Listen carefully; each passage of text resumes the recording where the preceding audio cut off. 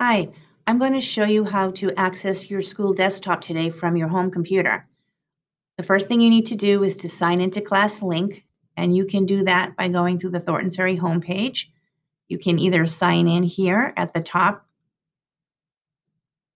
and then and access our intranet page, or you can simply sign in using the ClassLink backpack, which I'm going to do right now. I'm going to get rid of this message, right? You will not need your email address, so please don't put the at um, sau26.org. When you sign in, you get into the library of ClassLink icons that the, the kids see and that you use.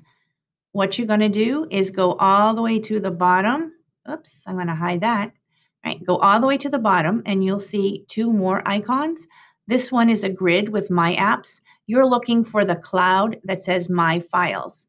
You're going to click on My Files.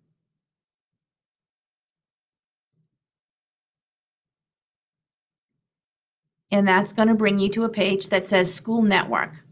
On that page, you're going to see the H drive. You can either click right on the H drive here, or you can go over to this one here. And what you want to do is here's your desktop. Click on desktop. Now you have access to everything that you have on there.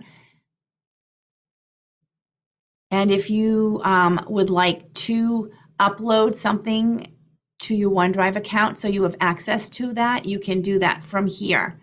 You can also download files and use them from here.